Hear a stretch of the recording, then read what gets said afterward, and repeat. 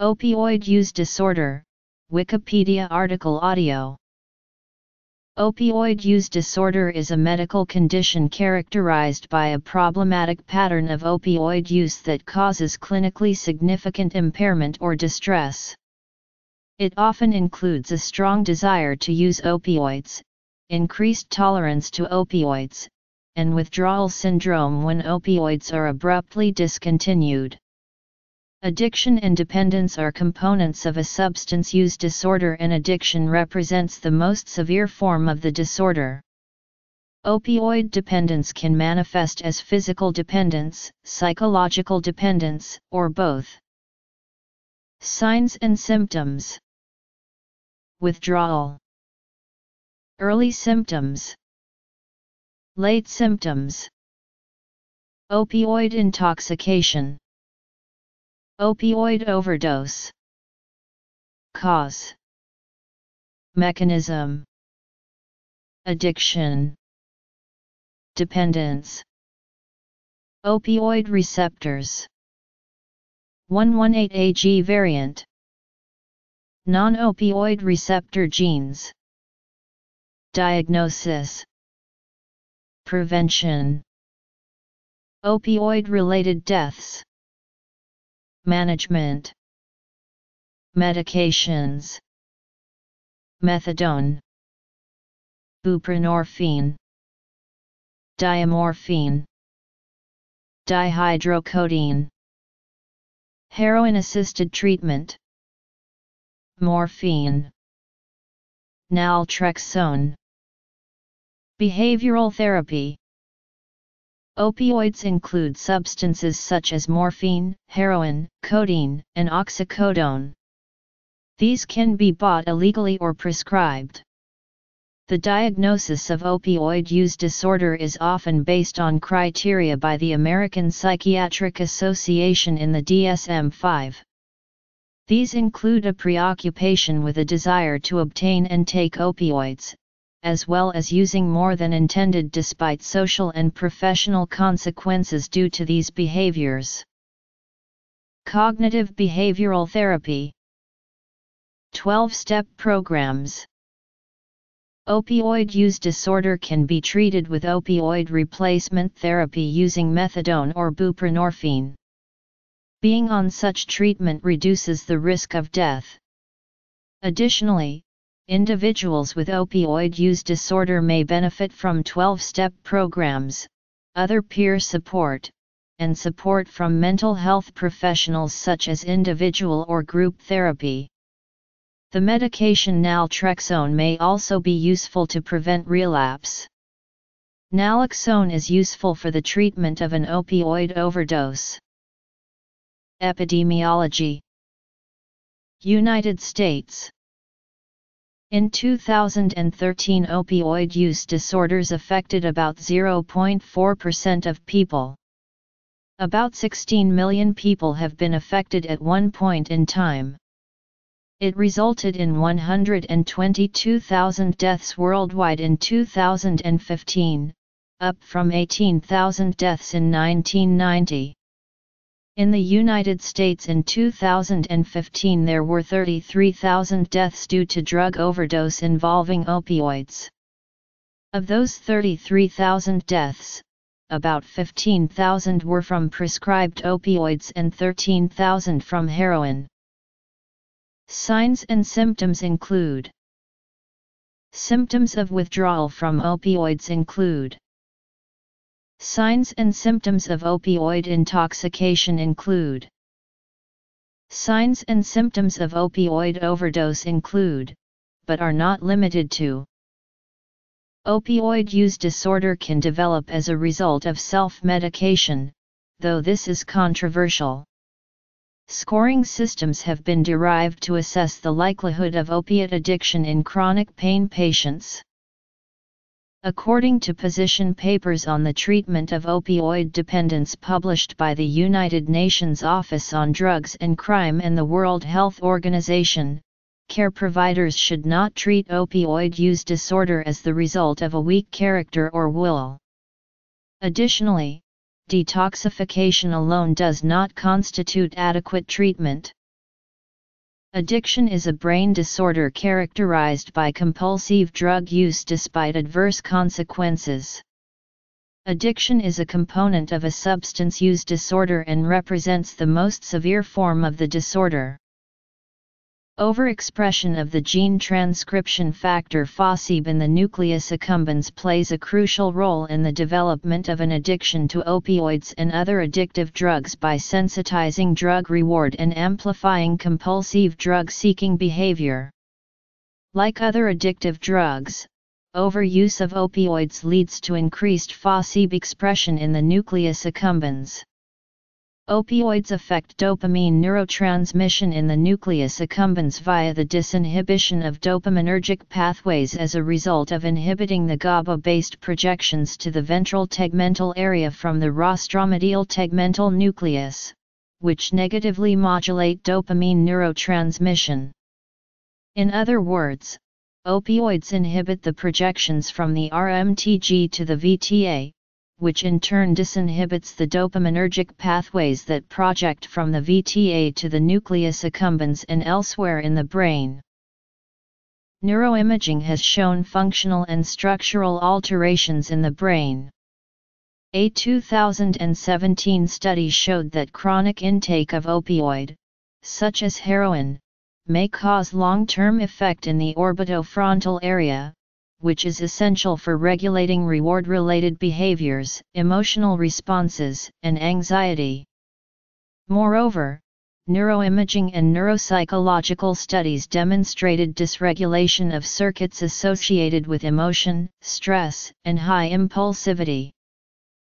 Drug dependence is an adaptive state associated with a withdrawal syndrome upon cessation of repeated exposure to a stimulus. Dependence is a component of a substance use disorder. Opioid dependence can manifest as physical dependence, psychological dependence, or both. Increased brain-derived neurotrophic factor signaling in the ventral tegmental area has been shown to mediate opioid-induced withdrawal symptoms via downregulation of insulin receptor substrate 2, protein kinase B, and mechanistic target of rapamycin complex 2. As a result of downregulated signaling through these proteins, opiates cause VTA neuronal hyperexcitability and shrinkage. It has been shown that when an opiate-naive person begins using opiates in concentrations that induce euphoria, BDNF signaling increases in the VTA. Upregulation of the cyclic adenosine monophosphate signal transduction pathway by CAMP response element binding protein, a gene transcription factor, in the nucleus accumbens is a common mechanism of psychological dependence among several classes of drugs of abuse.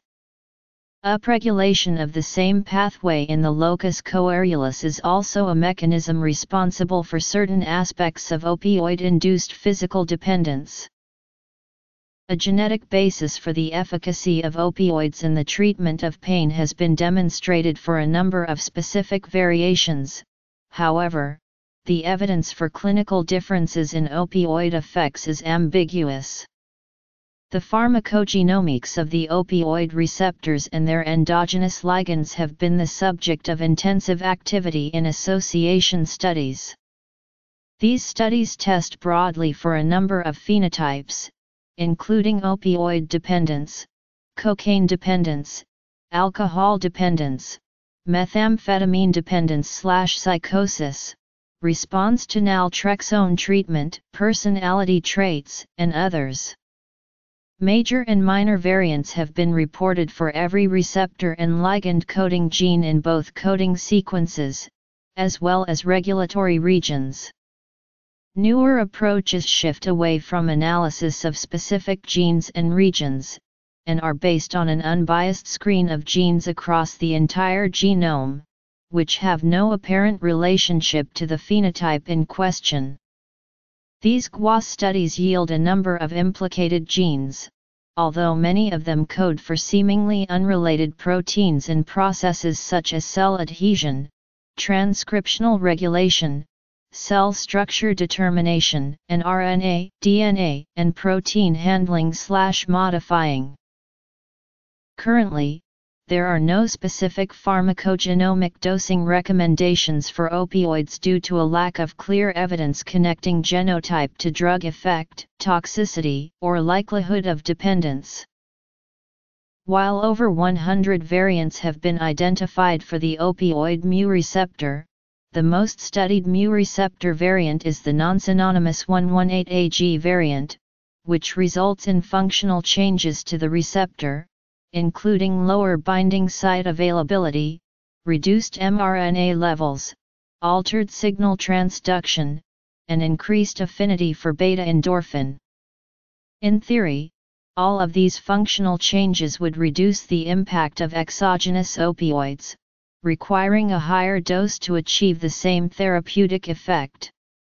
This points to a potential for a greater addictive capacity in these individuals who require higher dosages to achieve pain control. However, evidence linking the 118AG variant to opioid dependence is mixed, with associations shown in a number of study groups, but negative results in other groups. One explanation for the mixed results is the possibility of other variants which are in linkage disequilibrium with the 118AG variant and thus contribute to different haplotype patterns that more specifically associate with opioid dependence. The preproenkephalin gene, PENK, encodes for the endogenous opiates that modulate pain perception, and are implicated in reward and addiction. Repeats in the three flanking sequence of the PENK gene was associated with greater likelihood of opiate dependence in repeated studies. Variability in the MC2R gene, encoding melanocortin receptor type 2 has been associated with both protective effects and increased susceptibility to heroin addiction. The CYP2B6 gene of the cytochrome P450 family also mediates breakdown of opioids and thus may play a role in dependence and overdose. The DSM-5 guidelines for diagnosis of opioid use disorder require that the individual has significant impairment or distress related to opioid uses. In order to make the diagnosed two or more of 11 criteria must be present in a given year. There are efforts to decrease the number of opioids prescribed in an effort to decrease opioid use disorder and deaths related to opioid use. Naloxone is used for the emergency treatment of an overdose. It can be given by many routes and acts quickly by displacing opioids from opioid receptors and preventing activation of these receptors by opioids.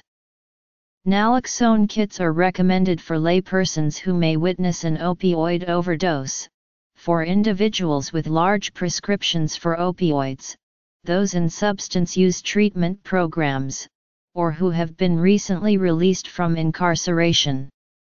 Since this is a life-saving medication, many areas of the United States have implemented standing orders for law enforcement to carry and give naloxone as needed. In addition, naloxone could be used to challenge a person's opioid abstinence status prior to starting a medication such as naltrexone, which is used in the management of opioid addiction. Opioid use disorders typically require long-term treatment and care with the goal of reducing risks for the individual, reducing criminal behavior, and improving the long-term physical and psychological condition of the person. Most strategies aim ultimately to reduce drug use and lead to abstinence. No single treatment works for everyone, so several strategies have been developed including therapy and drugs. As of 2013 in the US, there was a significant increase of prescription opioid abuse compared to illegal opiates like heroin. This development has also implications for the prevention, treatment, and therapy of opioid dependence. Though treatment reduces mortality rates, the period during the first four weeks after treatment begins and the four weeks after treatment ceases are the times that carry the highest risk for drug related deaths. These periods of increased vulnerability are significant because many of those in treatment leave programs during these critical periods. Opioid replacement therapy, also called opioid substitution therapy or opioid maintenance therapy, involves replacing an opioid, such as heroin, with a longer acting but less euphoric opioid. Commonly used drugs for ORT are methadone or buprenorphine which are taken under medical supervision. As of 2018 buprenorphine slash naloxone is preferentially recommended. The driving principle behind ORT is the program's capacity to facilitate a resumption of stability in the user's life, while the patient experiences reduced symptoms of drug withdrawal and less intense drug cravings, a strong euphoric effect is not experienced as a result of the treatment drug. In some countries, regulations enforce a limited time period for people on ORT programs that conclude when a stable economic and psychosocial situation is achieved. In practice, 40-65% of patients maintain abstinence from additional opioids while receiving opioid replacement therapy and 70-95% are able to reduce their use significantly. Along with this is a concurrent elimination or reduction in medical, psychosocial, and legal issues that can arise from the use of illegal opioids. Clonidine or lofexidine can help treat the symptoms of withdrawal. Participation in methadone and buprenorphine treatment reduces the risk of mortality due to overdose. The starting of methadone and the time immediately after leaving treatment with both drugs are periods of particularly increased mortality risk, which should be dealt with by both public health and clinical strategies. ORT has proven to be the most effective treatment for improving the health and living condition of people experiencing problematic illegal opiate use or dependence, including mortality reduction and overall societal costs, such as the economic loss from drug-related crime and healthcare expenditure. Opioid replacement therapy is endorsed by the World Health Organization, United Nations Office on Drugs and Crime and UNAIDS as being effective at reducing injection, lowering risk for HIV/AIDS, and promoting adherence to antiretroviral therapy. Currently, 55 countries worldwide use methadone replacement therapy, while some countries such as Russia do not. Methadone maintenance treatment, a form of opioid replacement therapy, reduces and slash or eliminates the use of illegal opiates, the criminality associated with opiate use, and allows patients to improve their health and social productivity. Methadone is an agonist of opioids. If initial doses during the beginning of treatment are too high or are concurrent with illicit opioid use, this may present an increased risk of death from overdose. In addition, enrollment in methadone maintenance has the potential to reduce the transmission of infectious diseases associated with opiate injection, such as hepatitis and HIV. The principal effects of methadone maintenance are to relieve narcotic craving, suppress the abstinence syndrome, and block the euphoric effects associated with opiates. Methadone maintenance has been found to be medically safe and non-sedating. It is also indicated for pregnant women addicted to opiates. Methadone maintenance treatment is given to addicted individuals who feel unable to go the whole way and get clean. For individuals who wish to completely move away from drugs, they can start a methadone reduction program. A methadone reduction program is where an individual is prescribed an amount of methadone which is increased until withdrawal symptoms subside. After a period of stability, the dose will then be gradually reduced until the individual is either free of the need for methadone or is at a level which allows a switch to a different opiate with an easier withdrawal profile, such as Suboxone. Methadone toxicity has been shown to be associated with specific phenotypes of CYP2B6. Some impairment in cognition has been demonstrated in those using methadone. Drug-seeking behavior, increased use over time, legal or social ramifications secondary to drug use, multiple prescriptions from different providers, multiple medical complications from drug use, opioid cravings, withdrawal symptoms. History Decreased perception of pain, euphoria, confusion, desire to sleep, nausea, constipation, miosis. Pinpoint pupils may occur. Patient presenting with dilated pupils may still be suffering an opioid overdose, decreased heart rate, decreased body temperature, decreased breathing, altered level of consciousness. People may be unresponsive or unconscious, pulmonary edema, shock, death. Heroin information from the National Institute on Drug Abuse Opioid information at opioids.net, Opioid Dependence Treatment and Guidelines, Opioid Risk Tool for Narcotic Abuse. Treatment with buprenorphine may be associated with reduced mortality. Buprenorphine under the tongue is often used to manage opioid dependence. Preparations were approved for this use in the United States in 2002. Some formulations of buprenorphine incorporate the opiate antagonist naloxone during the production of the pill form to prevent people from crushing the tablets and injecting them, instead of using the sublingual route of administration. In Switzerland, Germany, the Netherlands, and the United Kingdom, long-term injecting drug users who do not benefit from methadone and other medication options are treated with pure injectable diamorphine that is administered under the supervision of medical staff. For this group of patients, diamorphine treatment has proven superior in improving their social and health situation. Dihydrocodeine in both extended release and immediate release form are also sometimes used for maintenance treatment as an alternative to methadone or buprenorphine in some European countries. Heroin-assisted treatment has been available in Switzerland since 1994.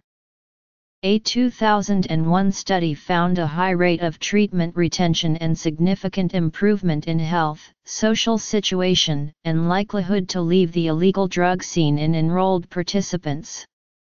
The study found that the most common reason for discharge was the start of abstinence treatment or methadone treatment. The study also found that heroin-assisted treatment is cost-beneficial on a society level due to reduced criminality and improved overall health of participants. The heroin-assisted treatment program was introduced in Switzerland to combat the increase in heroin use in the 1980s and 1990s and written into law 2010 as one pillar of a four-pillar strategy using repression, prevention, treatment, and risk reduction. Usually, only a small percentage of patients receives heroin and have to fulfill a number of criteria. Since then, HAT programs have been adopted in the Netherlands, United Kingdom, Germany, Spain, Denmark, Belgium, Canada, and Luxembourg. An extended release morphine confers a possible reduction of opioid use and with fewer depressive symptoms but overall more adverse effects when compared to other forms of long-acting opioids. Retention in treatment was not found to be significantly different. It is used in Switzerland. Naltrexone is used for the treatment of opioid addiction. It works by blocking the physiological, euphoric, and reinforcing effects of opioids.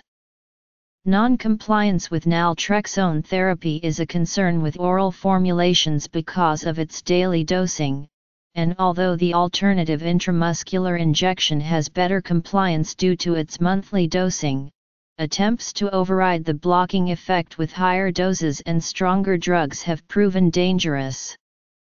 Naltrexone monthly IM injections received FDA approval in 2010 for the treatment of opioid dependence in abstinent opioid users. Cognitive behavioral therapy, a form of psychosocial intervention that is used to improve mental health, may not be as effective as other forms of treatment. CBT primarily focuses on an individual's coping strategies to help change their cognition, behaviors, and emotions about the problem. This intervention has demonstrated success in many psychiatric conditions and substance use disorders. However, the use of CBT alone in opioid dependence has declined due to the lack of efficacy and many are relying on medication therapy or medication therapy with CBT since it was found to be more efficacious than CBT alone. While medical treatment may help with the initial symptoms of opioid withdrawal, once the first stages of withdrawal are through, a method for long-term preventative care is attendance at 12-step groups such as Narcotics Anonymous. Some evidence supports the use of these programs in adolescents as well. The 12-step program is an adapted form of the Alcoholics Anonymous program. The program strives to help create behavioral change by fostering peer support and self-help programs. The model helps assert the gravity of addiction by enforcing the idea that addicts must surrender to the fact that they are addicted and to be able to recognize the problem. It also helps maintain self control and restraint to help promote one's capabilities. Globally, the number of people with opioid dependence increased from 10.4 million in 1990 to 15.5 million in 2010. Opioid use disorders resulted in 122,000 deaths worldwide in 2015, up from 18,000 deaths in 1990. Deaths from all causes rose from 47.5 million in 1990 to 55.8 million in 2013. According to the CDC in 2017, in the U.S., the age-adjusted drug poisoning death rate involving opioid analgesics increased from 1.4 to 5.4 deaths per 100,000 population between 1999 and 2010, decreased to 5.1 in 2012 and 2013, then increased to 5.9 in 2014, and to 7.0 in 2015. The age-adjusted drug poisoning death rate involving heroin doubled from 0.7 to 1.4 deaths per 100,000 resident population between 1999 and 2011 and then continued to increase to 4.1 in 2015. In 2012 it was estimated that 9.2% of the population over the age of 12 years old had used an illicit drug in the previous month. In 2015, it was estimated that 20.5 million Americans had a substance use disorder. Of these 20.5 million, 2 million used prescribed pain medications and one half of a million were using heroin. In 2015, in the U.S. there were 33,000 deaths due to drug overdose that involved opioid use. Of these, about 15,000 were from prescribed opioids and 13,000 were from heroin use. Non-medical consumption of opioids peaked around 2010 and then started to decrease between 2011 and 2013. Among adults, the rate of inpatient hospital stays in the United States related to opioid overuse increased by an average of 5% annually from 1993-2012. The percentage of inpatient stays due to opioid overuse admitted from the emergency department increased from 43% in 1993 to 64% in 2005, but have remained relatively constant since 2005. The prevalence of opioid use and opioid or opiate dependency varies by age and gender, among a myriad of other factors. Men are at higher risk for opioid use and dependency than women, and men also account for more opioid overdoses than women, although this gap is closing. Women are more likely to be prescribed pain relievers, be given higher doses, use them for longer durations, and may become dependent upon them faster. Deaths due to opioid use also tend to skew at older ages than deaths from use of other illicit drugs. This does not reflect opioid use as a whole, which includes individuals in younger age demographics. Overdoses from opioids are highest among individuals who are between the ages of 40 and 50, in contrast to heroin overdoses, which are highest among individuals who are between the ages of 20 and 30. 21 to 35 year olds represent 77% of individuals who enter treatment for opioid use disorder, however, the average age of first time use of prescription painkillers was 21.2 years of age in 2013. Among the middle class means of acquiring funds have included elder financial abuse through a vulnerability of financial transactions of selling items and international dealers noticing a lack of enforcement in their transaction scams throughout the Caribbean. Opiate misuse has been recorded at least since 300 BC. Greek mythology describes Nepenthe and how it was used by the hero of the Odyssey. The use of opioids has been used in the Near East for centuries. The purification of and isolation of opiates occurred 200 years ago. Levacetyl methadol was previously used to treat opioid dependence. In 2003 the drug's manufacturer discontinued production. There are no available generic versions. LAAM produced long-lasting effects, which allowed the person receiving treatment to visit a clinic only three times per week, as opposed to daily as with methadone. In 2001, levacetyl methadol was removed from the European market due to reports of life-threatening ventricular rhythm disorders. In 2003, Roxane Laboratories, Inc. discontinued Orlaam in the U.S.